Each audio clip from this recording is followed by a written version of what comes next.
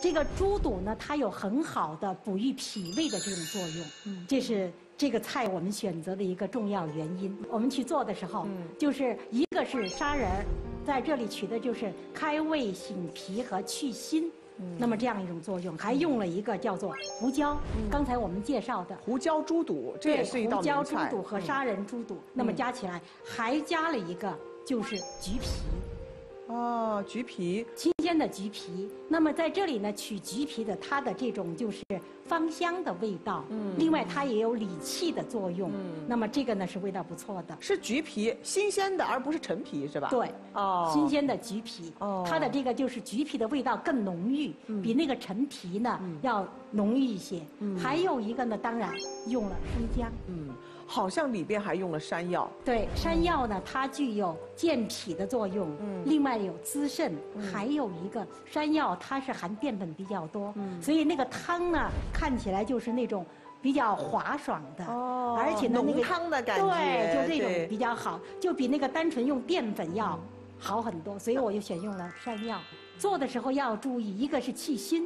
哎，这个去腥啊，您说的特别好。我们的西伟。就是因为去腥的这个环节没有通关，所以说呢，从此退出了厨坛，是这样吗？西伟，只是退出了这道菜，啊没有退出厨坛。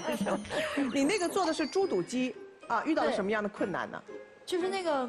猪肚我有认真的去处理，嗯，但是熬出来的那个汤闻起来就很腥。对，因为因为本身我比较瘦，人家说就是吃什么补什么，我觉得我的胃不好，嗯，所以我就特别爱吃这个肚那个肚这个真的这个这这些东西。然后那个猪肚我是真的是一直很喜欢吃，但是回家了以后我也认真洗了，我也拿醋泡了，嗯，然后我也是按照那个步骤炖的，不知道为什么就是那么腥。就是你别着急，嗯，我心里始终都有你，嗯，这个腥的问题，钱老师在家里边教了我一些妙招，那你快告诉我呀，咱们一块去看一看吧。哎，我们一起去看一看。我相信吃猪肚的朋友都知道。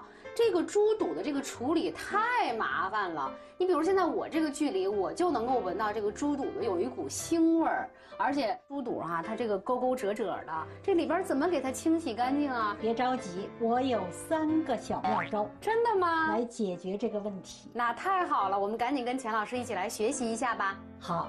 我们首先把这个猪肚进行清洗，嗯，是这些脏东西我们能看见的，尽量的把通过我们的这种揉啊、捏呀给它去掉。清洗以后呢，剪开它，整个的就是暴露出来，这样的话都能洗到。接下来把水沥干净，妙招来了，嗯，第一个妙招就要开始了，面粉倒上来，这个淀粉倒进去以后揉、捏、抓，这样的通过吸附作用呢，把这些脏东西去掉。本来是白的，它慢慢就会变颜色。对，这个过程呢，大约需要十到十五分钟。这个过程弄完以后要清洗。我现在觉得好像就是随着这个清洗的这个过程哈，它那个腥的那个味道淡了一些。嗯，烘清了，然后就开始第二道。第二个小妙招是用料酒来浸泡三到五分钟。哎，料酒。然后呢，再来搓揉五到十分钟。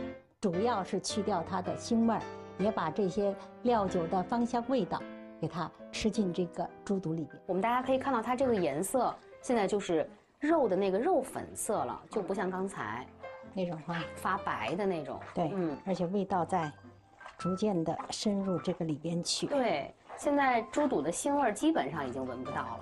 接下来就是清洗，也是到水清了为止。啊，对。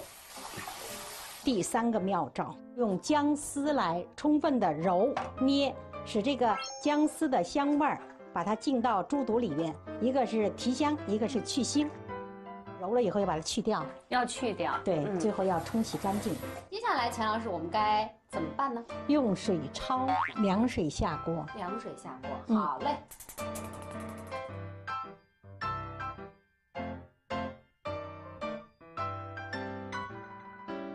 们把猪肚凉水下锅，先下新鲜的橘子皮和生姜。这个砂仁咱们要放几颗呀？放四颗啊，四颗。它有什么讲究吗？划一下，这样把它按一按，味道容易出来。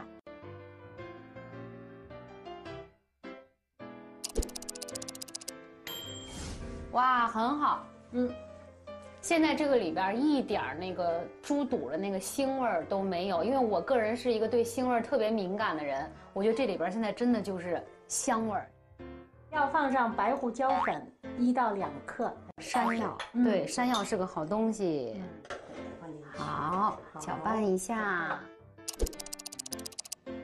哎，我看这是枸杞哈，这个就是要起锅之前了，哎再把枸杞放进去对对对，耗的汤一块儿放进去所以去，要等它开。这样一个猪肚汤非常的好。学会了。就这样就完了吗？我当然给大家带了呀，就是嘛，我多讲朋友义气的一个人。仗义啊。嗯，很香的那个橘皮的那个香味儿，很香，青姐，您觉得那个我们处理的猪肚腥吗？一点都不腥，是不是？嗯，非常的清香，它那个汤完全是清香味儿，非常好喝。哎，黄奕，嗯这跟你平常吃的这个家乡的这种猪肚啊，有什么样的区别没有？还真是不一样。这个我觉得那个汤感觉会更清香一些。嗯，为什么有橘皮，对不对？对对对，而且这个橘皮不是那种陈皮的味道，它是特别新鲜的那种，那种那种柑橘类的那种水果的 VC 的清香是吧？嗯，所以那个猪肚就显得特别的不腻。别说有味儿了，我觉得都都都不油。西伟，你在窃喜什么呢？哎呀，陶醉了，就是闻起来就是那种淡淡的果香，还有一点点胡椒的鲜辣，哎，有你说的那种腥味吗？完全没有。而且这个汤喝起来是甜的，嗯是清甜的，嗯然后这个猪肚吃起来是 Q Q 弹弹，一点腥味都没有，这个是真的好，超真的好。级香，嗯，嗯，非常好吃。好太好吃，太好吃了，太好吃了。哇，你们怎么都没有想到给我留一份呢？来来来来，那你们吃的都很剩下的给你专注，我已经忍了很久了，真的没有一份是给我的啊。好，砂仁儿我看到您放了好几颗，啊，这么大一锅汤，我是不是可以多放一点儿？可以适当的根据口味的这种需求，哦可以酌情的多放一点。嗯，那长期吃也没有什么呃不好的这个问题，是吧？一般除非是不适合吃内脏的，嗯例外。嗯那么比如说一周吃一两次，嗯，可以的。那么如果很多朋友他不适合吃这个动物内脏，对吧？我们是不是可以换成煲鸡肉汤啊，或者煲一点牛肉啊这些可以，也可以的。鸡肉、牛肉和那个排骨都可以。另外呢，西尾讲到了淡淡的甜味。我们刚才讲的这个就是放的这个佐料里边还有一味就是枸杞。嗯，对对。枸杞呢，因为在我们放的调料里边都是温的，比如说砂仁呐、这个胡椒呀、生姜啊这种温热的制品，然后呢再加以少许的这个枸杞，它是滋阴的，而且淡淡的甜味对于调味和缓解这种温燥呢具有帮助的。但你看煲鸡汤的时候加点枸杞，那个味道立马不一样了啊。那您刚才这锅汤啊，是说这个砂仁儿在一开锅的时候就放进去吗？还是说，呃，刚开始炖的时候就放进去？说的很好，这个呢，一般炖肉就是把这个砂仁跟这个炖的东西一起放进去，这样的话，使得这个砂仁的味道逐渐的释放在汤里边，在这个肉或者是这个猪肚里边。嗯，但是我在用药的时候呢，会后放，专门写一个后下，嗯，所以这个还是不一样的啊。不一样的。